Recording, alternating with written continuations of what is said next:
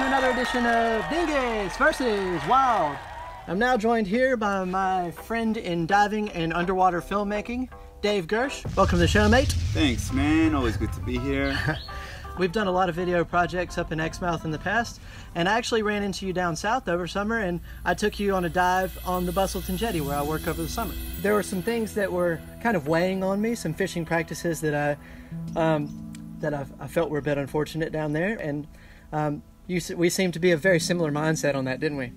Yeah, when I came out of the water, or even before that, just going on the jetty, I told you, man, we gotta let's do let's let's just let's do something about this because obviously, I mean, we there's, there's, we can do something like we're good at making videos. Let's just make a video, um, and at least maybe try and uh, get other people to, you know, understand a bit better in what's happening because uh, we realize that's probably the main issue of like why is this is happening is because people are just unaware really when you're a fisherman and stuff like that maybe you, you don't really see what's going on below you can't see like the all the fishing lures and fishing lines that are entangled down there mm-hmm. and it's just like a, sure. a general understanding kind of thing yeah and yeah. there's like a big fear of sharks down there but yeah I mean, the small sharks you find under and raise under the jetty are really not like yeah especially that they're like they're important for the ecosystem there too yeah know? there's a reason they're there it's yeah. they're, they're small because they probably can you know grow around that area and then go out into the bigger ocean when they're bigger as well. So yeah, um, yeah, we would like to make a bit of a difference. At the very least,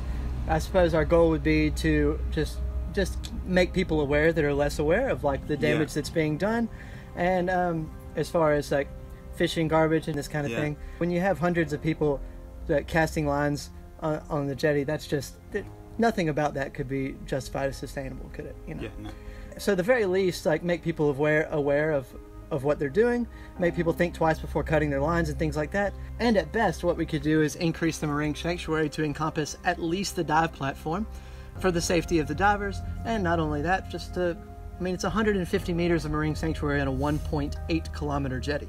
Yeah. You know, it could be a bit more equitable with our with our marine sanctuary versus fishing zone. Could yeah, we? yeah, it's a great example. I think it's a small representation of a lot of other places in the world. If we can't keep fishermen out of this one very spe- specific marine sanctuary zone, mm-hmm. how are we going to be expected to to have sustainable fishing in areas that are less patrolled? You know what I mean? Yeah, like, for sure.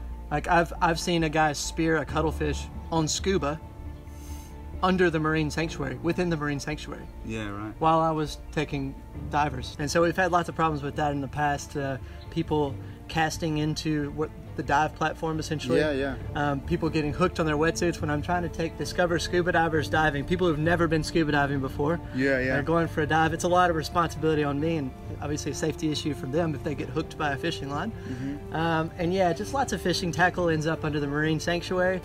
So shall we take a look at the video? Yeah. Without further ado, here is our uh, video on the Busselton Jetty entitled "Reality is Underwater."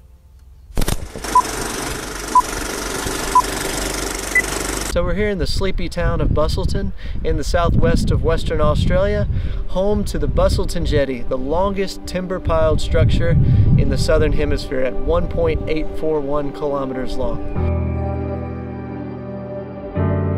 The jetty acts as an artificial reef and is a home to a great abundance and diversity of marine species like uh, marine mammals like dolphins, uh, small sharks and rays, uh, octopus, squid, uh, a great diversity and abundance of fish. And um, also, the pylons are a home and a very good place to grow your soft corals and your sponges. Uh, and also, the jetty acts as a great refuge for seabirds as well. And of this 1.841 kilometer long jetty, only about the last 150 meters are a protected marine sanctuary. And as soon as you enter the water, you can see a really stark contrast between the protected marine sanctuary and the bit that's not protected where people can fish in that. The colors in the marine park are very vibrant and beautiful, like the soft corals and the sponges are, are really thriving there. And then as soon as you cross over that barrier, um, yeah, everything becomes very bland and, and, there's not a lot of fish there, right?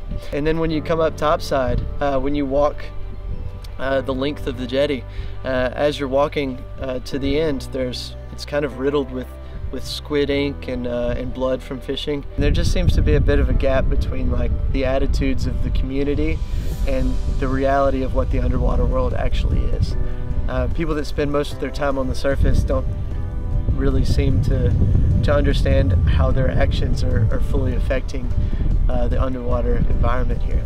For instance, when I walk up and down the jetty, many times fishermen have stopped me and, and almost bragging, like really proud that they've fished and killed a shark, um, and not even to eat, just because they thought they were protecting the community from the grave threat of shark attacks.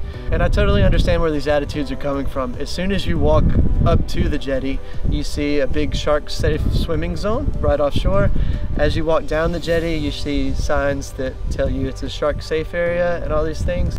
So the issue here really seems to be the divide between people's perception and the reality of what's actually underwater. Even diving in the sanctuary, it's not rare for me to pick up 10 or 20 fishing lures on a dive. Um, there's, there's heaps of fishing line that ends up getting cut uh, and left down there and sometimes makes it into the marine sanctuary. The best thing I've seen under the jetty is probably octopus hunting at night. They use your torches and they, they go from bommy to bommy and dig their legs and all their tentacles up and everything. They're looking for all kinds of all kinds of critters to eat, things like that. And so just how how active they are at night and how expressive they are, changing colors, it's it's really amazing. The worst thing I've seen is definitely a shark cut in half and killed and left right at the bottom of the dive platform, right where we dive. And that's really tough to see when something is killed not to eat or anything like that, but just strictly to to kill it. In fact, I've been hooked when diving from the platform. I've been hooked by a fisherman in my wetsuit, and which obviously shouldn't happen. And the solution for me would be to just push the marine sanctuary a bit farther back. I would say most people come here not for fishing, but to see the underwater world here. There's actually an underwater observatory here, so anyone can go below the surface and see what the underwater world is like, even if they're not a diver or a snorkeler. We want to probably have a bit more equality between the, the fishing and the people who, who enjoy tourism in other ways, who enjoy the underwater world and anything that we can do here to expand the services offered here that allow people to either go underwater and explore the underwater world themselves or go into the observatory and, and actually see what's down there is going to help educate people. Um, they're going to think twice about cutting their line if they're fishing.